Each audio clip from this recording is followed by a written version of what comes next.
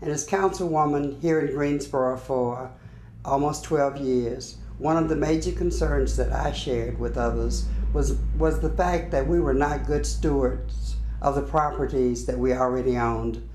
And I want to encourage people to support the bond for the renovation of our city buildings, especially using the Melvin um, Municipal Center as an example. We built that building in 1972, and we have not done the work to upgrade the air conditioning and other systems. Uh, the Justice Building needs a new roof. We, we need to maintain those properties that we already have so that we don't have to pay more in the future to keep these buildings um, suitable and uh, maintenance free for the citizens of Greensboro.